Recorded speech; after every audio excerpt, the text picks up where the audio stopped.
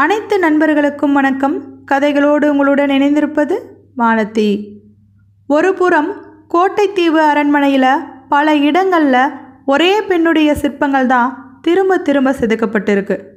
மறுபுறமோ அரசரை கொல்ல மீண்டும் மீண்டும் முயற்சி நடந்துட்டுருக்கு. இதுபோல பல திருப்பங்களை கொண்ட ஒரு சுவாரஸ்யமான கதை தான் மெயினலோச்சனி இந்த கதையைத்தான் இன்றைக்கி நம்ம பார்க்க போகிறோம் வாங்க பார்க்கலாம். அன்று கோட்டைத்தீவு அரண்மனையே ரொம்பவும் சோகமயமாக காட்சி தருது. அதற்கு முக்கியமான காரணம் சிந்தாமணி அம்மாவின் திடீர் மரணம். இந்த சிந்தாமணி அம்மா யார் அப்படின்னா பல வருடங்களுக்கு முன்னர் அந்த அரண்மனையில் ஆடல் கணிகையராக இருந்தவர் தான் ஒரு சாதாரண ஆடல் கணிகையருக்கா இவ்வளவு வருத்தம் அப்படின்னு கேட்டால் நிச்சயமாக ஆமான்னு தான் சொல்லணும். அதற்கு நாம் இருபது வருடத்திற்கு முந்தைய கதையை தெரிஞ்சுக்கணும். இருபது வருடத்திற்கு முன்னாடி அந்த நாட்டோட அரசன் விஜயராகவனுக்கும் அவருடைய மனைவி பாமாவிற்கும் அதிரூபன் திவ்ய சுந்தரி அப்படின்னு இரண்டு பிள்ளைகள் இருந்தாங்க. பாமாவிற்கு எப்போதுமே தன்னுடைய அழகை கவனித்துக் கொள்வதில் நாட்டம் அதிகம். சுகபோக வாழ்க்கை ஆடை அணிகலன் அப்படின்னு தான் அவங்க இருந்தாங்க. ஒரு அரசியாக இருந்த காரணத்தினால அவருக்கு அது எல்லாமே கிடைத்தாலும் தன்னுடைய பிள்ளைகளை வளர்ப்பதில் அவருக்கு நாட்டமே கிடையாது. அதை பார்த்த அரசர் விஜயராகவனுக்கு மனக்கவலை ரொம்பவும் அதிகமாகுது.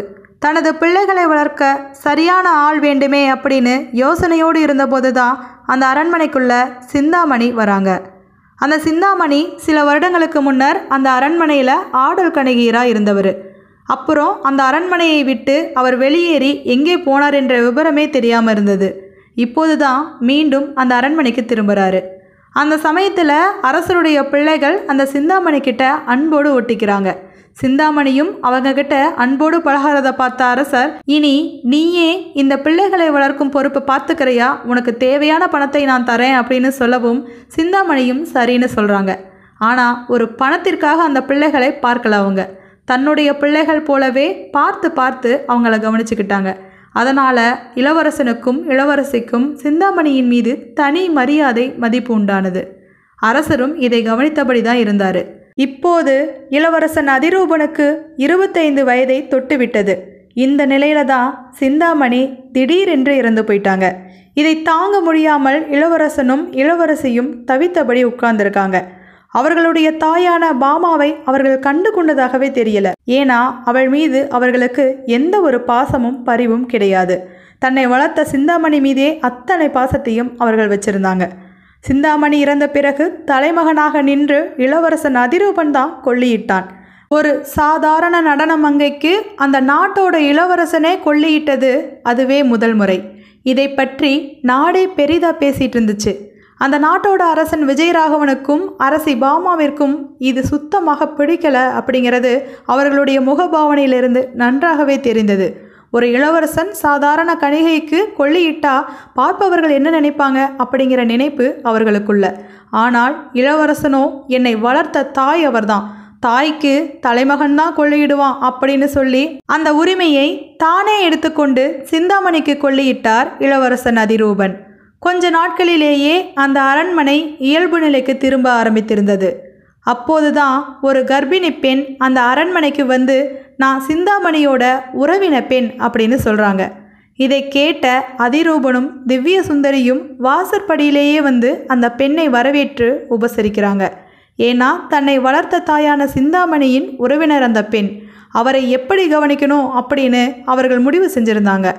அந்த பெண்ணிற்கு வேண்டியதை செய்துவிட்டு நீங்கள் இந்த சிந்தாமணி அம்மாவிற்கு என்ன வேணும்? அப்படின்னு கேட்கும்போது நான் ஒரு தூரத்து உறவின பெண் தான் ஆனால் எனக்கு எல்லாமுமாக இருந்தது சிந்தாமணி அம்மா தான் எனக்கு பணம் அனுப்பி என்னுடைய வாழ்க்கையை செழிப்பாக மாற்றியது அவர்தான் அப்படின்னு சொல்லிட்டு இருக்காங்க சிந்தாமணி அம்மா இறந்த செய்தியை கேள்விப்பட்டு தான் விசாரிச்சுட்டு போலான்னு இங்கே வந்தேன். அவரை தவிர எனக்கு வேறு எந்த உறவுகளும் கிடையாது. வேறு எங்கேயும் என்னால் போகவும் முடியாது அப்படின்னு வருத்தத்தோடு அந்த கர்ப்பிணி பெண் சொல்கிறத கேட்ட இளவரசன் நீங்கள் வேறு எங்கேயுமே போக வேண்டாம். இந்த அரண்மனையிலேயே பாதுகாப்பாக எவ்வளவு காலம் வேணாலும் தங்கலாம். உங்களுக்கு பாதுகாப்பாக சிந்தாமணி அம்மாவின் பணிப்பெண்ணான கமலாம்பிகையே வைக்கிறேன் அப்படின்னு சொல்லவும் மனதில் ஒரு திருப்தியோடு அந்த பெண் அந்த அறைக்கு போகிறாங்க அன்று இரவு மிக பெரிய ஒரு சத்தம் அரசருடைய அறையிலிருந்து கேட்குது. அதை கேட்ட இளவரசன் ஓடோடி போய் பார்க்கறாரு. அங்கே அரசர் காயத்தோடு உட்கார்ந்துருக்காரு. அரசரை யாரோ கொலை செய்ய முயற்சி பண்ணியிருக்காங்க. அதற்கு அடையாளமாக ஒரு சிற்பம் செதுக்கும் ஒளி தரையில் கிடக்குது. அதில் ரத்தம் தோய்ந்தும் காணப்படுது. இதன் மூலமாக தான் தன்னுடைய தந்தையை தாக்கியிருக்காங்க அப்படின்னு இளவரசன் தெரிஞ்சுக்கிறாரு. தன்னுடைய தந்தையிடம் உங்களை யார் தாக்க வந்தாங்கன்னு நீங்கள் பார்த்தீங்களா? அப்படின்னு கேட்கும்போது ஒரு பெண் தான் என்னை தாக்க வந்தா இருட்டில் சரியாக தெரியலை அப்படிங்கிறாரு. இதை கேட்டதும் அந்த பெண் அப்படிங்கிற வார்த்தையை அவர் மனசில் உருப்போட்டு கொண்டே இருக்கிறார். அப்போது அவருக்கு புதிதாக இன்று வந்திருப்பது ஒரு கர்ப்பிணி பெண். ஒருவேளை அந்த பெண் செய்த சதியாக இருக்குமோ அப்படின்னு நினைத்து கொண்டு அந்த பெண்ணின் அறைக்கு போகிறாரு அங்கே கமலாம்பிகையை கூப்பிட்டு விசாரிக்கும் போது கமலாம்பிகை அந்த பெண் தூங்கிட்டு தான் இருக்காங்க என் கூட தான் இருக்காங்க அப்படின்னு சொல்லவும் அந்த பெண்ணாக இருக்காது அப்படிங்கிற முடிவோடு அங்கிருந்து நகர்ந்து வராரு இளவரசன். ரொம்ப தீவிரமாக சிந்திச்சிட்ருக்காரு. எந்த பெண் தன்னுடைய தந்தையை கொல்ல இந்த அளவுக்கு முயற்சி பண்ணுவாங்க அப்படிங்கிற யோசனை தான் அவருக்கு. மறுநாள் காலை அரசர் ஒரு சிற்பத்தின் முன்னாடி நின்று ரொம்பவும் யோசித்தபடி நிற்கிறாரு. அவர்கிட்ட போய் எதை பற்றி யோசிக்கிறீங்க? அப்படின்னு அந்த சிற்பத்தை உற்று கவனித்து பார்க்குறாரு இளவரசன். இவ்வளவு காலமாக இந்த அரண்மனையில் இந்த சிற்பம் இருக்க தான் செய்யுது. ஆனால் இன்றைக்கு மட்டும் ஏதோ ஒரு புதுவிதமாக அந்த இளவரசனுக்கு தோணுது. அது மட்டும் இல்லாமல் அந்த சிற்பம் நிறைய இடங்களில் இருப்பது போலவும் தோணுது. ஒவ்வொன்றாக உற்று உற்று கவனித்தபடி இருக்கிறாரு. அப்போதுதான் அது யார் அப்படிங்கிற உண்மை இளவரசனுக்கு புரிய ஆரம்பிக்குது. அது ஒரு பெண்ணின் சிலை. பல இடங்களில் அதே பெண் ஆனால் வேறு வேறு முகபாவனைகளுடன் இருப்பது போல சிலை வடிக்கப்பட்டிருந்தது. இந்த சிலையை வடித்த சிற்பி நிச்சயமாக அந்த பெண்ணை நேசித்து தான் வடித்திருக்க முடியும் அப்படிங்கிறதுக்கு அத்தாட்சியாக அது விளங்கியது. அரசருக்கும் அதே ஆச்சரியந்தான் அந்த பெண் யார் அப்படின்னா சிந்தாமணி அம்மா சிந்தாமணி அம்மாவின் சிறுவயது சிற்பம்தான் அது. அந்த அளவிற்கு சிந்தாமணி அம்மாவை ரசித்து ரசித்து சிற்பம் படிச்சிருக்காங்க அப்படின்னா அந்த சிற்பிக்கு நிச்சயமாக சிந்தாமணி அம்மா மேலே காதல் இருந்திருக்கணும் அப்படின்னு அனுமானிக்கிறாரு அதிரூபன். அது மட்டும் இல்லாமல் அந்த அரண்மனையில் இருக்கும் பழங்காலத்து ஆட்கள் கிட்ட அந்த சிற்பியை பற்றியும் சிந்தாமணி அம்மாவை பற்றியும் விசாரிக்கிறாரு. ஆனால் இருவர் பற்றியும் தெரியுமே தவிர இருவருக்கும் காதல் இருந்ததா இல்லையா என்பது பற்றி எங்களுக்கு தெரியாது அப்படின்னு சொல்கிறாங்க இந்த விசாரணையை முடித்துக்கொண்டு அந்த கர்ப்பிணி பெண்ணை போய் பார்க்கிறாரு அதிரூபன். அவர்கிட்ட பேச்சு கொடுத்து பார்க்கும்போது அவர் ரொம்பவும் சாதாரணமாக பேசுகிறாரு அவர்கிட்ட எந்த தப்பும் இருப்பது போல தெரியல. அதனால் அந்த விசாரணையை அத்தோடு முடிச்சுக்கிட்டு யோசனையோடே தன்னுடைய அறையில் வந்து உட்கார்ந்துருக்கிறாரு. அப்போது அங்கே வந்த தன்னுடைய தங்கையான திவ்ய சுந்தரி கிட்ட நடந்த அனைத்தையுமே சொல்கிறாரு தங்களுடைய தந்தையை கொல்ல நினைக்கும் பெண்ணை சீக்கிரமாக பிடிக்கணும் அப்படின்னு பேசிகிட்டு இருக்காரு. அதே நேரத்தில் அரசர் தன்னுடைய அறையில் தன்னுடைய மனைவி கிட்ட பேச்சு கொடுத்துட்ருக்காரு உனக்கு ஒரு ஆச்சரியமான தகவலை சொல்கிறேன் கேளு.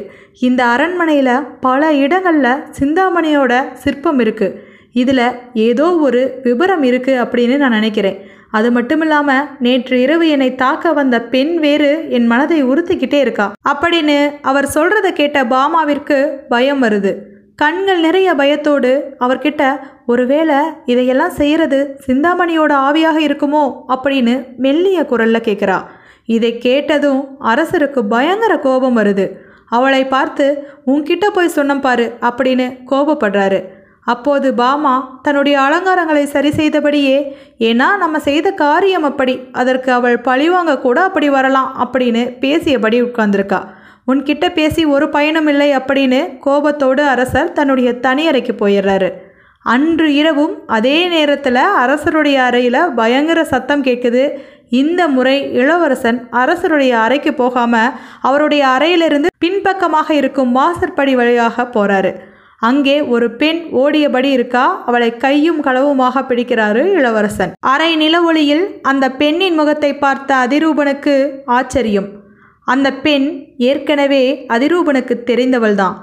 ஒரு முறை வேட்டைக்கு சென்றபோது துறவியின் மடத்தில் அந்த பெண்ணை கண்டிருக்கிறான் அதிரூபன். அதன் பிறகு அவளை இப்போதுதான் பார்க்கறான். அவளை தனியாக கூட்டி போய் விசாரிக்கும் போது பல திடுக்கிடும் உண்மைகள் வெளியில வருது.